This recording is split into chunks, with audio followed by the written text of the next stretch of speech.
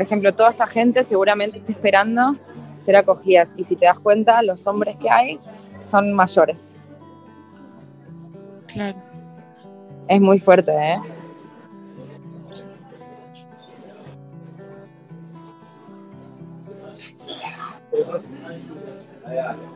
Todo lo que es chaleco amarillo eh, son voluntarios.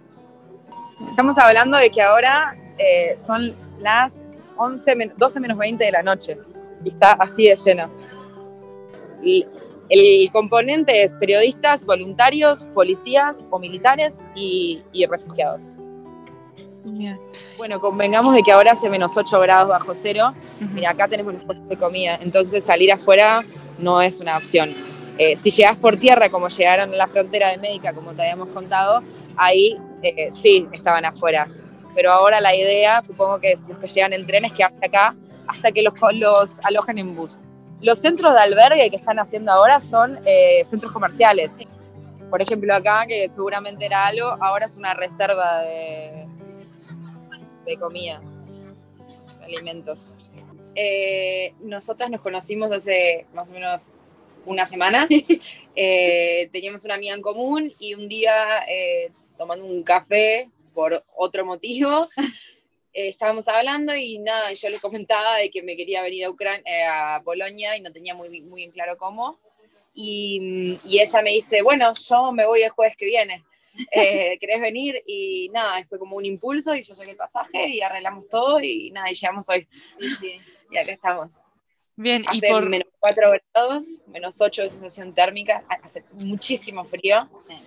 Y, y bueno, nada, viviendo algo que nunca pensamos vivir. claro, ¿y qué van a hacer exactamente en la frontera? Bien. Eh, bueno, O sea, yo soy fotógrafa documental y además de con Romy vinimos con dos fotógrafos más. Nuestra idea es como documentar historias. Yo como que trabajo bastante en el hecho de documentar historias y busco gente que quiera hablar, bueno, que, se- que, que- que quieran contar lo que están viviendo.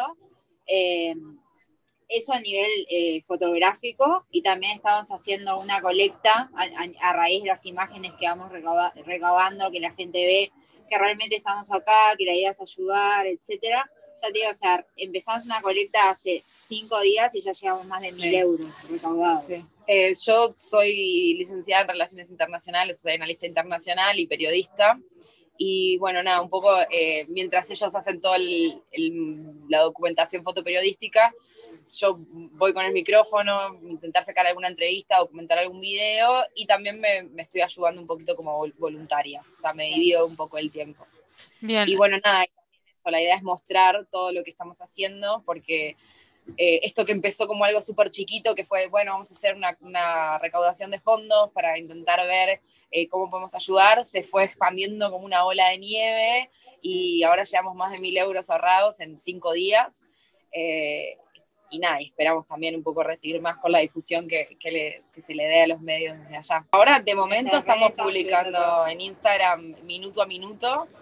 Eh, si, si nos seguís, si nos siguen, nos van a ver que todo está ahí. Estamos, Sí, vamos subiendo historias, hablando con gente. Por ejemplo, ahora hace un ratito subimos una historia con una familia ucraniana que nos enamoramos de esa familia, o sea, eran espectaculares, amorosos. Nos contaron un poco toda su travesía, que bueno, se vinieron desde Kiev, ellos son de Kiev, se tuvieron que despedir de papá porque por la ley marcial el padre no podía abandonar el país. Entonces el padre lo trajo hasta la frontera en auto. Tres días Kiev, manejaron. tres días. Eh, y ahora el papá hace voluntario para traer gente que se encuentra por ahí, que quiere salir y los arrima hasta la frontera. Porque un poco el sistema de lo que funciona acá en, en esta parte de Polonia, o sea, la frontera de Polonia-Ucrania tiene, tiene varios, o sea, varios bordes, digamos, varios puntos. El, este punto, digamos, el punto más europeo, lo que hace es, es como un punto de entrada. Entonces llegan eh, a, a esta frontera que es médica y hay, un- hay dos fronteras más que son un poco más chicas, pero también están llegando.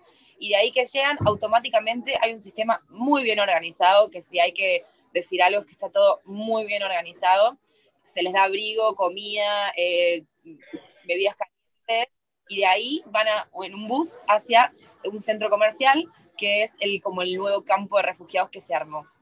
ahí pasan eh, las una o dos noches, no mucho más, son puntos de partida para otros lugares de Europa. O sea, los que vienen acá generalmente no se quedan en Polonia, van hacia otros lugares de Europa.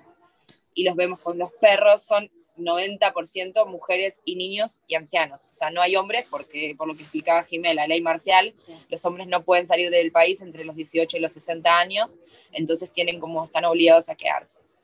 También, bueno, una cosa que nos llamó la atención, que nos contaron hoy, es que hay mucha gente que está volviendo para atrás porque se arrepiente, porque no quiere dejar a sus familias. Imagínate que una madre que tiene a su hijo de 18 años que se tiene que enlistar en la guerra, quizás toma la decisión, se viene y se arrepiente, porque acá tampoco es que hay nada garantizado. Sí, les, Europa le abre la puerta a Ucrania, como no ha hecho quizás en otros casos de desastres humanitarios o de guerra, mejor caso de Siria. Eh, hoy hablábamos con unos chicos de una ONG y nos contaban también un poco que el orden y la organización que existe acá no existió nunca en Lesbos, por ejemplo, que es el campo de refugiados en Grecia al que llegaron, eh, bueno, entre ellos los, de los refugiados de la guerra de Siria. Claro, y ustedes mañana empiezan a documentar todo ya en la acción, digamos. Hoy ya lo hicimos. Llegamos y nos fuimos a la frontera. Eh, caminamos un poquito hasta Ucrania, pero. Cruzamos al lado ucraniano y después nos dio un poco de miedo y volvimos. Pero, pero, nos están contando de que se puede ir, que se te sellan el pasaporte, que hay bastante control, que es mejor ir caminando porque en auto se tarda mucho. Eh, sí, son como tres horas de espera para volver en auto y caminando cruzar mucho más rápido. Entonces, la idea es mañana cruzar a Ucrania. Y... En teoría. Todo cambia minuto a minuto. Eh, sí. y nada, y también eh, hay como mucha, mucho para hacer. Los voluntarios son gente como nosotros, o sea, yo estaba hablando ahí y me puse a repartir café y a repartir chocolates, o sea, como que el trabajo está de campo está constantemente en movimiento. Y, bueno, y material de archivo no tiene límites. Y que ya cruzaron a Ucrania, ¿cómo fue eso? ¿Qué vieron cuando cruzaron? No se ve nada, es que cruzamos, caminamos 250 metros y en realidad es la misma frontera y lo único que se ve es gente viniendo con valijas. Y militares. Hay mucho militar eh, y mucha carpa también de asistencia humanitaria. Pensá que estamos en menos 4, menos 8 grados bajo cero y ahora, y hay gente de 80 años caminando con una valijita. Eh, hay, tienen que haber médicos, paramédicos, hay ambulancias, hay policías también como un poco marcando el orden. Eh, dentro del caos que genera, ¿no? Un hecho que hoy en día leímos eh, de ACNUR, hoy la, cifra de ACNUR salieron de, de, de Ucrania a Polonia 2,2 millones, y acá, ¿cuánto? Eh, acá era 1,5.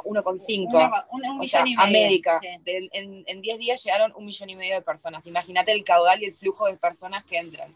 Hay, para, considerando esas circunstancias, hay un orden muy grande. No es peligroso, o sea, no vimos ningún tipo de peligro, no, se produce ningún tipo de robo, es todo muy ordenado. Eh, y sobre todo una cosa que creo que notamos las dos, es que hay mucha serenidad en, en ellos mismos. Están tranquilos. Quizás también es porque hace tres días que están viajando algunas personas, creo que lo más difícil lo dejaron atrás cuando dejaron Ucrania. Pero nosotras nos veíamos mucho más quebradas por las imágenes que veíamos que, ellos mismos. Sí, también es el desafío de, porque fue todo un shock, no es lo mismo verlo en videos, porque seguimos a mil fotógrafos, periodistas que ya estaban acá y ya vimos mil imágenes, pero literal, o sea, fue, fue ver a la gente desde lejos y ya como que se te, se, salía la lágrima. Y es eso, o sea, no puedes llorar enfrente a ellos porque los quebrás. Entonces, tenés que tratar de contenerte como puedas. Y, bueno, o sea, o sea la regla es que si te pones mal, te alejas, saca las lágrimas que tengas y volvés. Pero adelante de ellos nunca nada. También, no sé, te impresiona un poco, están todos con sus mascotas. Eh, la cantidad de, mascotas que, vimos a mí me sorprendió, no, no, no esperaba que fuera así. Eh, con los niños con sus ositos de peluche, no, es que es, muy fuerte. ¿Y cuánto tiempo planean quedarse ahí? Nos vamos a mes, pero puede ser que volvamos no a Polonia, sino a alguna otra frontera. Ahora la frontera de Rumania se está moviendo bastante también. Moldavia. Moldavia, Eslovenia. Eh, a ver, el tema es que como la Unión Europea le abrió las puertas a los ucranianos como refugiados, el, el, flujo de migrantes está cruzando por toda Europa. Por ejemplo, ayer eh, tenemos unos amigos que vinieron, eh, hicieron 72 horas en bus desde em, la comunidad valenciana, en un bus, vinieron, llevaron 35 refugiados y los trajeron. para, para, bueno, ahora están, están en camino, todavía no llegaron. Y probablemente ellos la semana que viene vuelvan. O sea, el sistema es así, hay buses de gente que se viene a recoger y, y, nada, y es una garantía también. El hecho es que dentro de todo, ¿no? que es una guerra y todo lo terrible que está pasando alrededor, eh, esta gente tiene a dónde, o sea, tiene a dónde llegar. No, no una casa quizás, no todo el mundo tiene un, hogar, pero tiene la posibilidad de vivir eh, en, en, condiciones de legalidad dentro de Europa.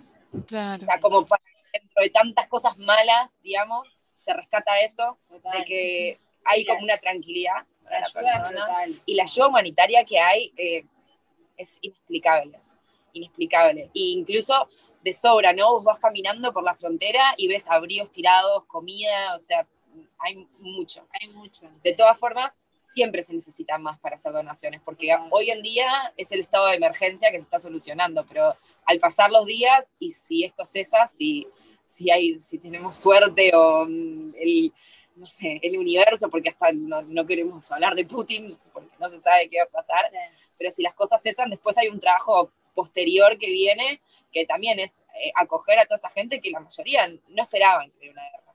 Eso es un factor en común que hemos visto, que nadie se esperaba que, que, esto sucediera a este nivel. O sea, se, se, pensaba como que eran más amenazas, bueno, la típica de tire y afloje, pero por ejemplo, la, yo yo fui mucho a las manifestaciones de Barcelona he conocido a muchos ucranianos que, claro, o sea, tienen su familia ahí en Kiev, por ejemplo, en la capital, y me decían que, el problema es que ellos nunca se imaginaron que realmente iban a llegar o tratar de llegar hasta la capital.